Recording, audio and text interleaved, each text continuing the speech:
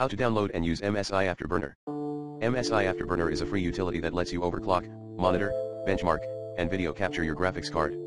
It works with any NVIDIA or AMD-based GPU, regardless of the brand. To download and use MSI Afterburner, you can follow these steps, go to the official MSI Afterburner website or a trusted third-party site and click on the download button. Extract the zip file to a folder and run the MSI Afterburner setup.exe file.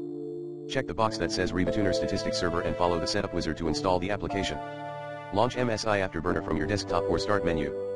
You can access various features like overclocking tools, on-screen display, hardware monitor, custom fan profiles, video capture, and more from the main interface.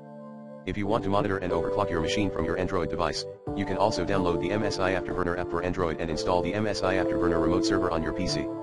You will need to enter the IP address of your PC on the app settings to connect them. Source, 1, MSI Afterburner https colon slash slash www.msi.com slash landing slash afterburner slash graphics hyphen cards. 2.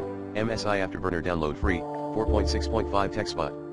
https colon slash slash www.techspot.com slash download slash 4895 hyphen MSI hyphen afterburner.html. 3. MSI Afterburner, download. https colon slash slash msi dash afterburner.en.softonic.com. 4. MSI Afterburner, download Afterburner for PC. https colon slash slash msi afterburner.co.